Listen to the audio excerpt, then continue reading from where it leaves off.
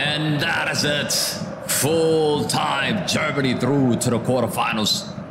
Musiala and Kai Havertz have scored the two goals in this match. You've got to, you've got to feel for Denmark. I mean, Denmark at least, at least deserve to score in this match. Rasmus Højlund, how many chances he wasted today? How many chances he wasted today? Big, big opportunities, big moments.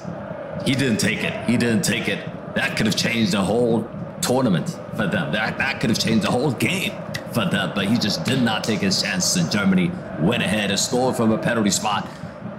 And they got the job done. They got the job done. So now this is what the, the, the um this is what's gonna look like now. This is pretty much what's gonna look like now. Um let's just put it out. Let's just put it out right now. This is what it looks like, okay? So take a look at this, right? Take a look at this. Germany have won against Denmark. That means they are through to the next round. Italy against Georgia. We we'll see what's gonna happen in that match. Of course, if if Spain, I said Italy, Spain, Spain. If Spain win against Georgia, then they would be facing against Germany in the quarterfinals. That's gonna be interesting. Of course, Portugal, Slovenia, France uh, against Belgium, Romania against Netherlands, Austria against Turkey, England against Slovakia, all coming up. But we did see tonight uh, Switzerland have knocked out Italy. But look, as for this game, right?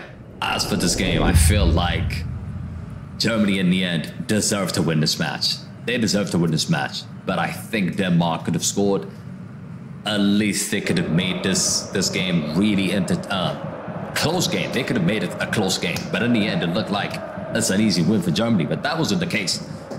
They had plenty of chances, plenty of chances here in Denmark that they did not take. So when they go home tonight, especially Rasmus Højlund, I don't think I don't think he's gonna sleep. I seriously don't think he's gonna sleep. Manuel Neuer coming up huge, coming up big, making two, three saves. That that should have been a goal. That should have been a goal for Denmark. But in the end, small margins at this stage, small margins decide the game. You've seen Denmark scored an offside goal by a toenail. VAR turned that over, and instantly the same player gets a handball called against him, and Havertz puts it in. So small margins are deciding this tournament, and especially if you are a smaller nation like Denmark, like Switzerland, you've got to take your chances when you play against the big teams, and that's what Switzerland did against Italy. But that's not what Denmark has done in this match, and they are out of the competition, and they're going home. They are going home. But Germany, one of the favorites, of course, for this tournament, will be looking uh, to face Georgia. I don't think they want to play Spain, but if Georgia can make it, fine. Against Spain, it will be a 50 50. You don't know which direction the game's going to go. But ultimately, Germany have accomplished what they wanted today, and that is going through to the next round. It's not really about the performance at this stage of the tournament.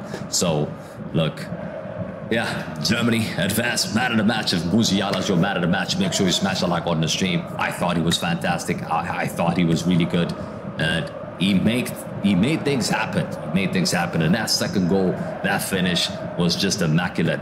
And that just shows you he's so young, at such a young age. He's delivering uh, for Germany. Uh, man the match for me, that is him.